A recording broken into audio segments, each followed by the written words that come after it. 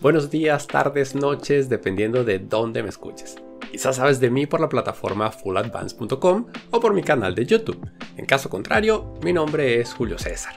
Hoy te traigo esta presentación donde quiero transmitirte cómo un probador se convierte en un agente de cambio al desafiar los antipatrones en su trabajo. A través de solo 5 actos, descubrirás cómo moverte al siguiente nivel y sobresalir del resto de una manera distinta a la que se suele publicitar que básicamente consiste en aprender la última herramienta del mercado. Acto número 1. Lo llamo la llegada, la importancia de escuchar y observar al principio, organizarse y tomar notas para evitar retrabajos y ganar respeto. Al acto número 2 lo llamo la comprensión, y me refiero a la parte de entender, ¿verdad? Cómo expresar opiniones y propuestas de manera efectiva, equilibrando la innovación con la aceptación de los demás y aprovechando tu conocimiento y experiencia. El acto número 3 habla del por qué y el para qué de eso que estamos tratando de traer a nuestra organización.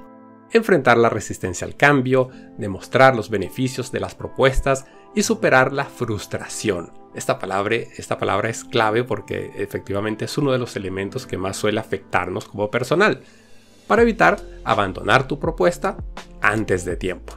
El acto número 4 habla del delivery, esa entrega, cómo comunicar ideas, presentar ideas de manera convincente, adaptar el discurso a diferentes audiencias y respaldar propuestas con datos, datos sólidos para ganar confianza. El último acto será las evidencias, cómo respaldar propuestas con evidencias concretas y responder a los escépticos y aclarar dudas. Ahora, antes de continuar, y como una breve introducción sobre mí, tengo 25 años en el negocio de IT, soy ingeniero en informática, ejercí unos 15 años como developer full stack y otros 10 años como probador. Estos últimos años en posiciones como lead o manager de equipos de prueba. Durante todo este tiempo he trabajado para varias organizaciones norteamericanas en la mayoría de los casos, del Fortune 500 como American Express, eh, Wells Fargo, Silicon Valley Bank y TransUnion, entre otras. Entonces, como alguien que pudo transicionar de posiciones 100% técnicas y de implementación a ser cargos de gestión de equipos, siento que puedo darte un par de tips sobre cómo cambiar tu perspectiva sobre ciertas situaciones. Entonces, la mayoría de mi contenido suele estar orientado a mejores prácticas, estándares internacionales, técnicas de pruebas como BSTQB, etc. Es decir, es particularmente técnico y formal. Sin embargo, el día de hoy vamos a intentar algo distinto porque este tipo de contenido que mencioné generalmente requiere de bastante tiempo para sacar provecho de él. Así que en función del formato, quise hablar de algo que podría considerar como más relacionado a las habilidades blandas y que tanto juniors, seniors o líderes le pudieran sacar provecho. Entonces, basado en algunas de las preguntas que me hacen por chat o en asesorías personalizadas respecto a cómo evolucionar en sus carreras, qué hacer para ser tomado en cuenta como algún ascenso o hasta disminuir la posibilidad de que prescindan de nuestros servicios, hashtag que nos despidan, se me ocurrió mostrar el recorrido de un probador cuando llega a una nueva organización, bien sea porque cambió de empresa, de departamento o incluso cuando es su primera experiencia laboral y desde el comienzo percibe ciertas grietas en las maneras como se desarrolla el trabajo de los probadores. Porque sí, incluso un novato con suficiente información o conocimiento es capaz de detectar antipatrones evidentes. Ahora, cuando un recurso es proactivo, tenderá a sugerir, de manera incluso inocente, que las cosas se pueden hacer de una manera diferente. Pero adivinen qué, rara vez esto tiene un final feliz para el proponente. Aunque muchos piensan que estas cosas de las que hablaremos solo les pasan a ustedes, la verdad es que es una constante. Pero si prestamos atención y creamos una estrategia, les garantizo que obtener resultados será mucho más factible de lo que imaginamos. Eso sí, fijémonos en la palabra que escogí, factible, porque hay una gran diferencia entre factible y fácil, porque nos tocará un buen trabajo para lograrlo. Aunque hoy me dirijo a un público de probadores, en, en la mayoría de los casos los que estarán aquí atendiendo a esta reunión, la verdad es que esto aplica sin ningún problema a cualquier otra área de IT como desarrolladores, diseñadores o DevOps inclusive, porque todos tenemos algo en nuestra mente que mejorar para los proyectos en los cuales participamos. Hoy más que hacer una exposición extensa, lo que quiero es que los participantes tengan la posibilidad de hacer tantas preguntas como puedan, ya que estoy seguro que muchos han pasado por situaciones similares, que pueden compartir con el resto o que quieran discutir sobre la mejor aproximación para resolverla. Así que, durante la charla, pueden ir dejando sus comentarios y los atenderé todos hacia el final de la sesión. Comencemos por el primer acto, la llegada. Estamos hablando de cuando eh, por primera vez llegamos a algún departamento o algo por el estilo. Entendamos algo, somos los nuevos en ese lugar donde estamos llegando. Y aunque seamos el James Bond del testing, lo mejor será mantener los oídos abiertos y la boca cerrada durante esta parte de la historia. Procurar hablar mayoritariamente para pedir aclaratorias en lugar de criticar. Debemos ser organizados en esta etapa es fundamental para evitar el retrabajo. Me refiero a prestar atención a lo que nos dicen porque es realmente molesto mantenernos preguntando lo mismo que ya nos han explicado en varias oportunidades. Debemos respetar el tiempo de las personas que nos acompañan en las etapas iniciales de nuestra estadía. No queremos convertirnos en esa persona que nos cuentan la misma historia una y otra vez y nos, y nos mantenemos preguntando lo mismo. Debes crear una estructura para tus notas.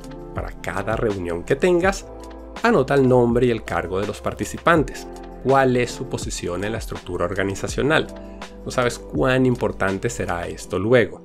Recuerda que en el futuro posiblemente eh, te haya pasado algo de esta naturaleza donde le escribes a una persona que suele prestarte poca atención y posiblemente necesites copiar a su jefe para lograr un poco más de priorización en sus actividades. Entonces, Anota los tópicos que se tocaron en la reunión. ¿Qué te parece bueno, malo o mejorable?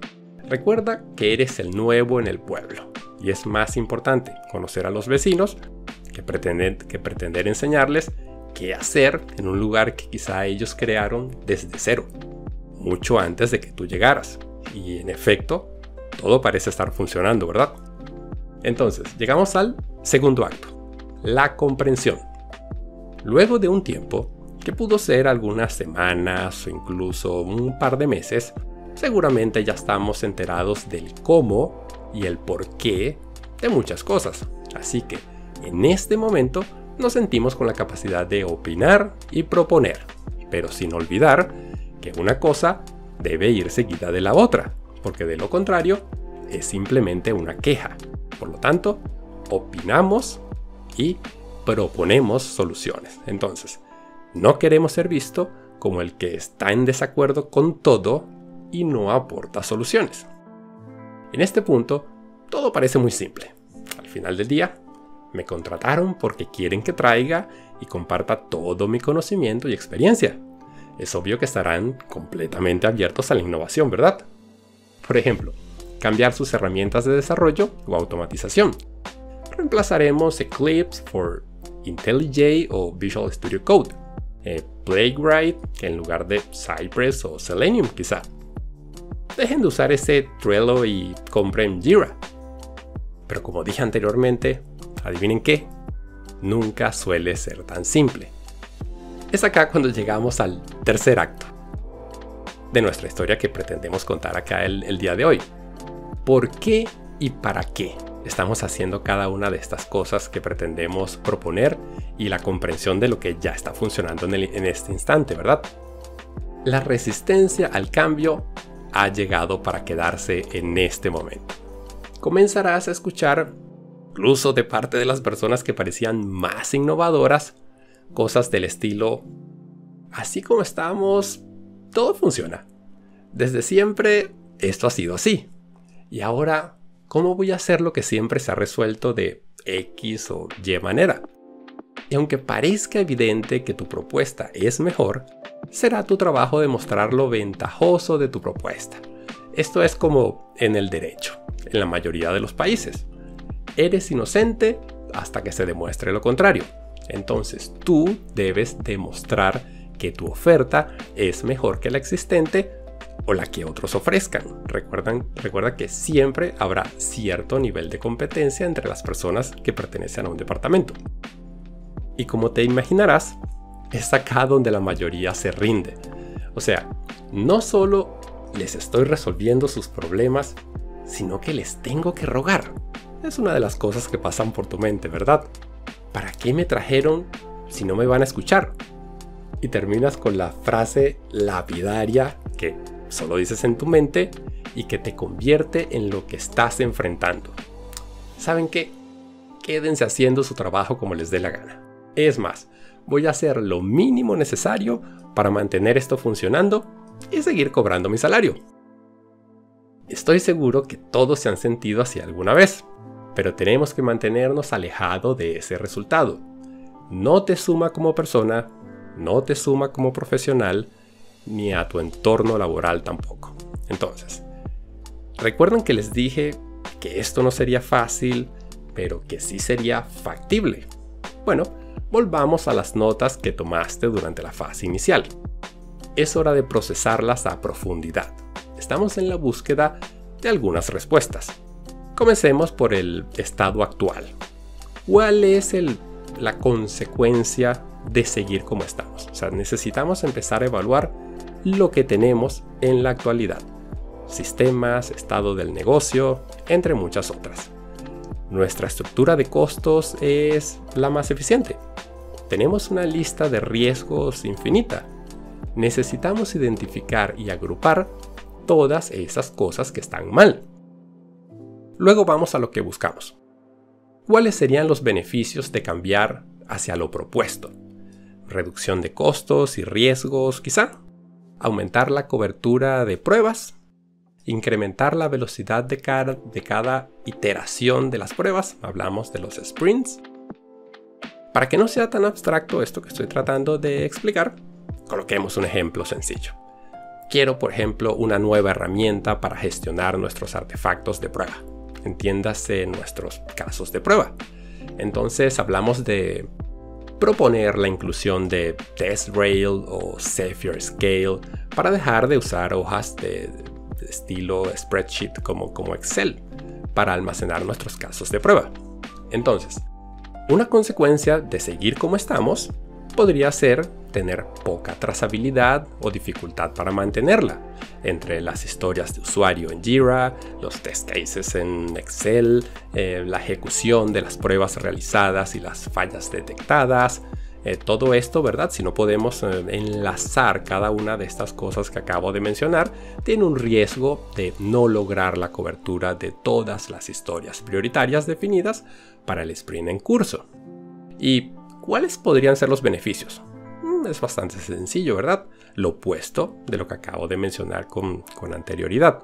Eh, creación más ágil de los instrumentos de prueba, hablamos nuevamente de los test cases, por ejemplo, eh, reutilización de estos instrumentos, monitoreo de las actividades, emisión de reportes automáticos sobre el estado del proyecto.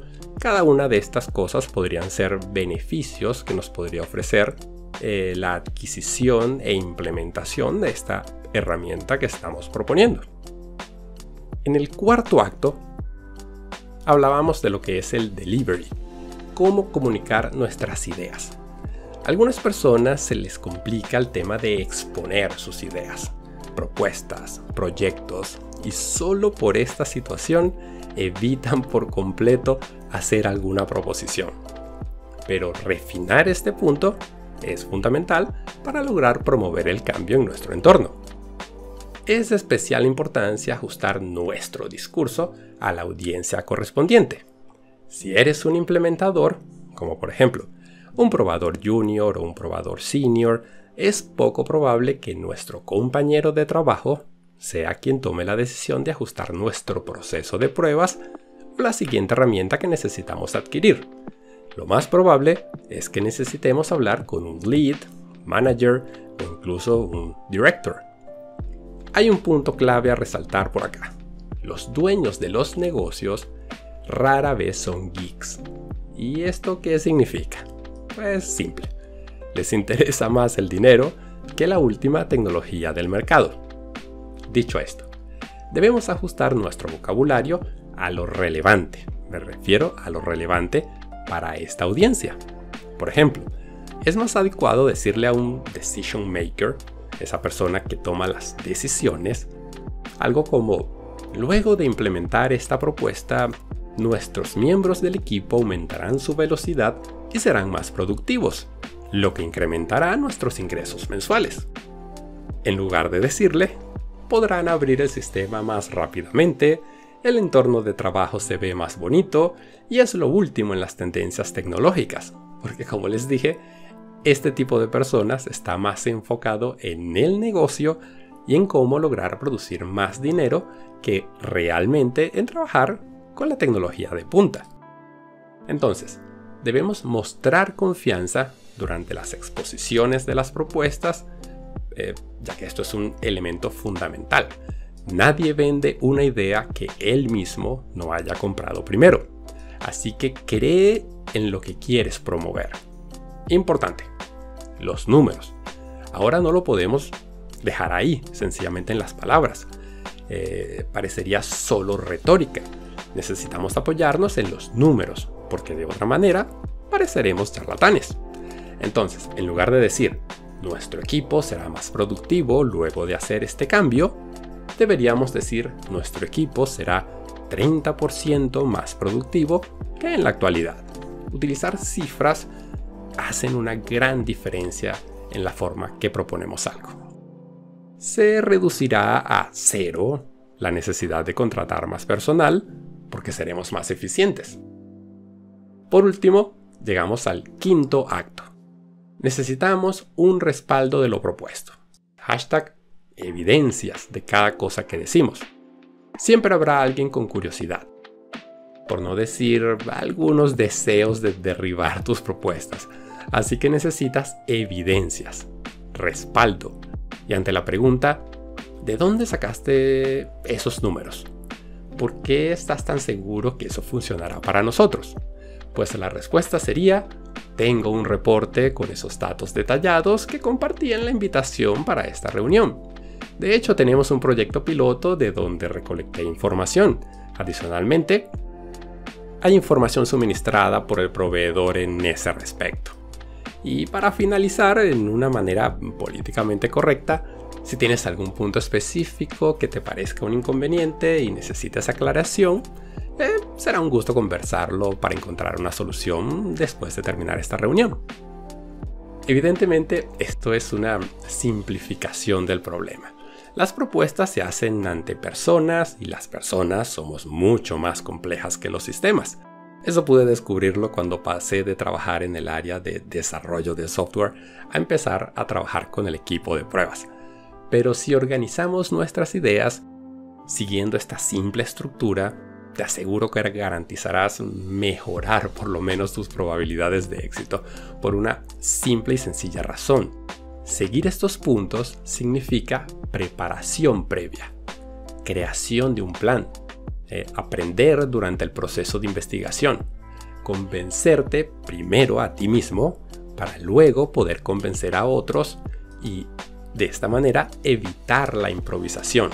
Sin embargo, estar preparado para ella. Y finalmente, lograr la confianza suficiente para la presentación de la propuesta. En este punto, todo lo anterior te lleva a promover el cambio en tu organización y en consecuencia ser reconocido como un recurso que genera impacto en el negocio. Espero les haya gustado el tema y les sirva para resaltar sobre el resto y ahora pasamos a responder cualquier duda que tengan.